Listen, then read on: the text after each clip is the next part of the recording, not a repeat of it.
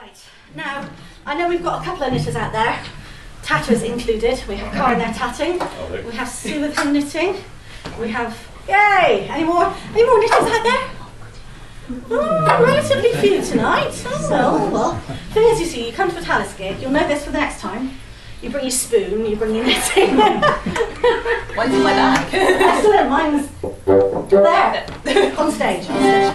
Um, now, we also have some knitting here. If there's anybody who's a knitter, but who didn't bring their knitting, because as far as they knew, knitting wasn't something you did at a gig, which it isn't always, admittedly, except I always do, um, then we have some knitting here on the table, which is a sort of an ongoing scarf project, which various people have done bits of at gigs.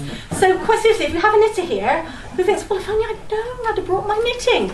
It, that's what it's there for. Pick up that knitting and knit, okay? that's what it's there for.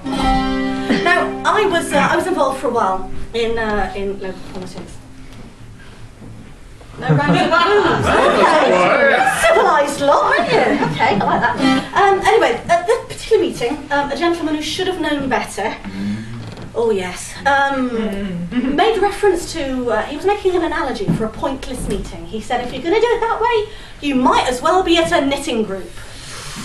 Well, that was my response exactly. You know, you know better, obviously. Um, the fact that I was chair of the council at the time and a keen knitter, and my vice chair was a keen knitter, made me feel a little undermined. So, being civilised about it, I didn't make a fuss at the time, but I went home and I started researching knitters of note. I found Eleanor Roosevelt, about whom I had known very little before. What a woman, what a fantastic woman. You probably all know more about her than, than I do. Um, but as well as being a stateswoman and politician in her own right, very much more than Mrs. President, um, she, uh, she was also an avid knitter. There are these wonderful pictures of her sitting prim and dignified, surrounded by heads of state and diplomats, with her knitting bag at her feet. Because this was a time when you knitted. You knitted socks and gloves and hats and jumpers to keep people warm. There's no museum of Eleanor Roosevelt's knitting. There's no, this piece was knitted by the First Lady. These things were worn and worn out. She's sort of my patron saint of knitting in a way. Knitting and politics. They go together, I think. I never did quite manage to pull my knitting out in the middle of a council meeting. This time yet? Oh yeah. yeah. so, we'll do a song for you now.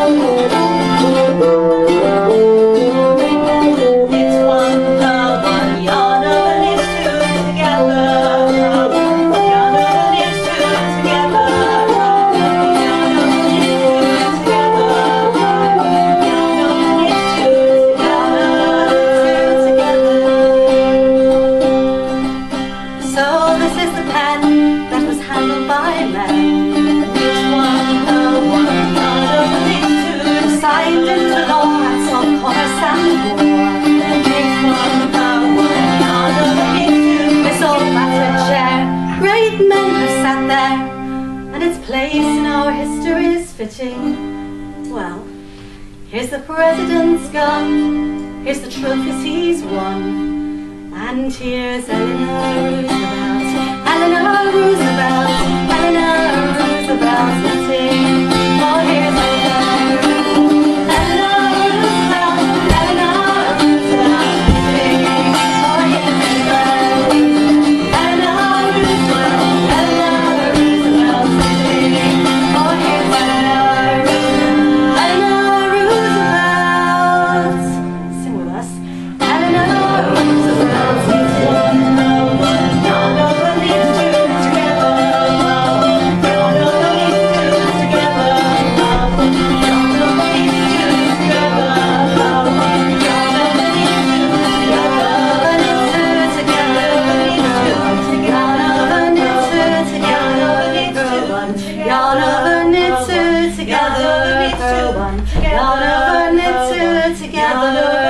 one. Yarn over knits two together.